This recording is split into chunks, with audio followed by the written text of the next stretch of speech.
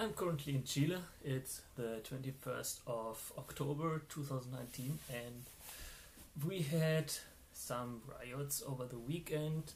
In, I'm in the city of Valdivia, but on the weekend I was in Villarrica. and we came back from Villarrica on Sunday, and on Saturday we spent the whole day in a nice nature park. Uh, yeah, the Chileans managed to get the country to a stop or not not maybe stop but shake up the country in just two days. And we didn't hear anything on on Friday. I mean there, we knew that there was something with uh, subways there was some demonstration but there's demonstration very often especially with the students. I like to protest very often about all kinds of st stuff about about veganism and uh, protest about feminism and uh, equal rights and what is too high prices for universities and for all the small stuff but but now it seems to have accumulated. The yeah we didn't really get anything from it and when we got up at Sunday we heard that there were like curfews going on in, in Santiago and then we saw also that in the Valdivia, the city where we live in, they were rioting a bit, burnt something, some tires in the street, they, they like to do that, and uh, smashed windows from the casino. Yeah, I was on the ridge. Hmm? Well, and then we drove back and when we came here we see saw basically there are ashes on the street from from the piles that they burned that people that were agitated and fed up. And um, yeah we saw some more pictures from stores that were smashed in. They definitely um, ransacked the municipal municipality building which yeah is probably like a a more reasonable um, aim of of their anger because the government is uh, most of the responsible for for the problems.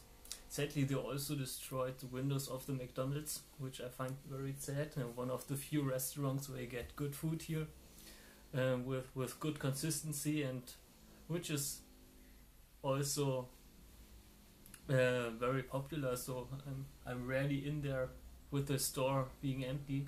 So sad about that. Then, yeah, of course, in on Facebook and on the on the feeds, Instagram, uh, Twitter, you have a lot of uh, news and all kinds of messages where people writing stuff or talking about it. How much do you want to? How much do you want to uh, trust that. It's like, okay, he talks about what I'm thinking too, so I trust him, or he talks about something different that I don't like, so I don't trust him.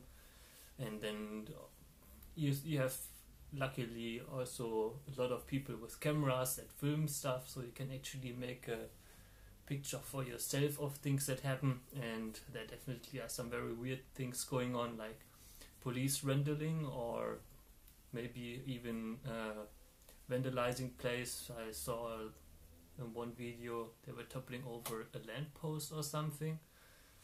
But yeah, I mean, a car ran over a guy, but the guy also ran in front of the car in the protest, and so are both pretty stupid.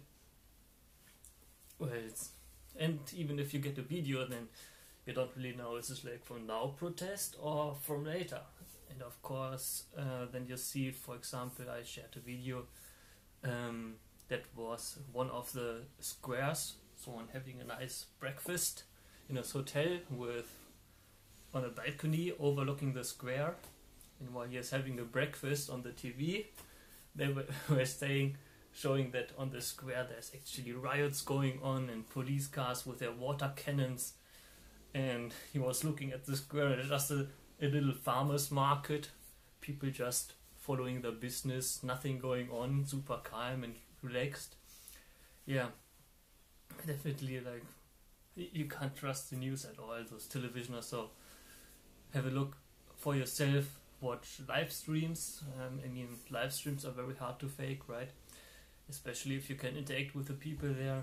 Um, other than that, trusted sources know how to see if someone has an agenda. And yeah, other than that, uh, especially for me as an expatriate here in Chile, I have to stay out of out of those places anyway. Um, this is something that the Chileans are doing. It's their, their business, their country.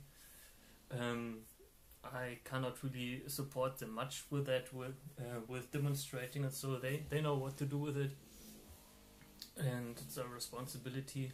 And also, I heard that if uh, expatriates or something are, are caught by the police, then they're directly thrown out of the country. Which I mean, it's reasonable, right? We don't want to have uh, non-citizens just toppling the government or making political decisions or something like that.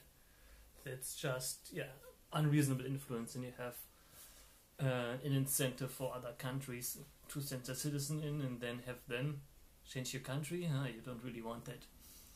The country is for the people of the specific country, and yeah, I'm just happy that I can enjoy it mostly here with the with the silent most. Yep, um, that was yesterday. They uh, did some riots, but also many, many, many people were protesting peacefully without destroying anything. So kudos to them. That's I definitely support that. And uh, today, then they had a curfew from 10 to 7, 10 in the evening to 7 in the morning. And no, yeah, we got up here in the house. Um, the stores are open until until two or something, two at noon, and then they want to close down just just in case.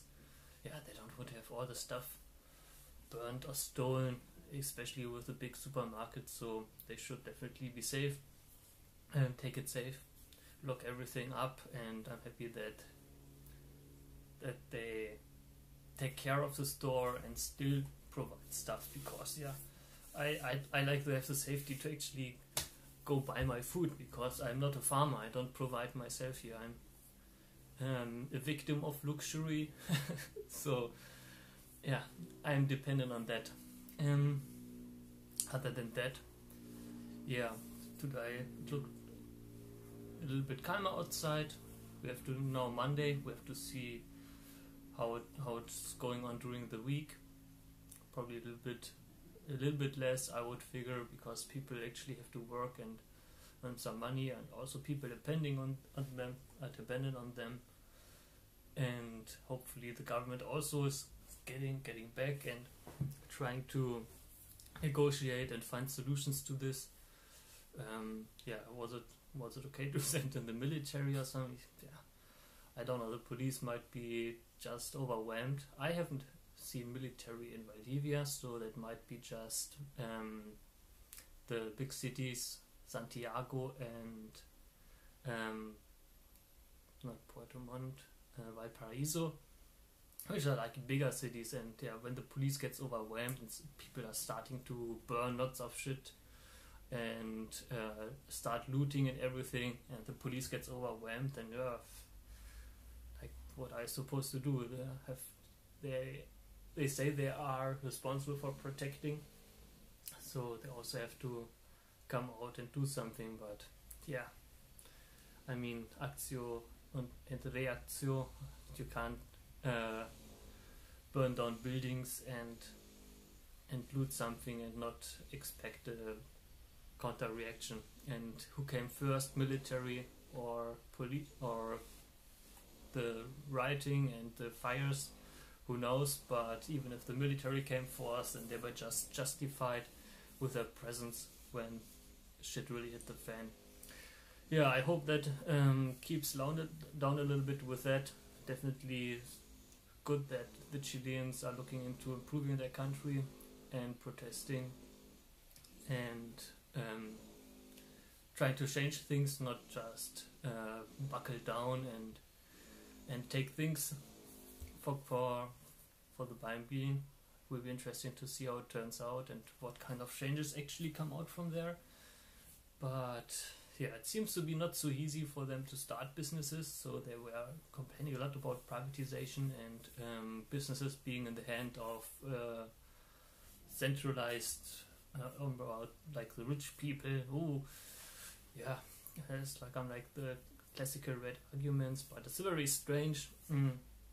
Complain about centralization of water and but I also don't see uh, many people starting businesses. That see the problem and then want to start a water business or they want to build a business for electricity or what I would like to see in Chile would be someone that some financial technology banks that uh, use technology that's already used in the United States and in, in Europe to start banks that are very customer friendly that use can that you can use completely with your smartphone online and that way don't need branches. But um, I asked someone and he, yeah I, I, talked with a few people and it seems like it's uh, not allowed to start a bank. So the banks now have a monopoly. So I could imagine that it's hard to start such a big business even thought it's very very easy compared to other countries to start a business here and also with startup chile it's very successful also to get some funding. And there are thousands of applicants every year.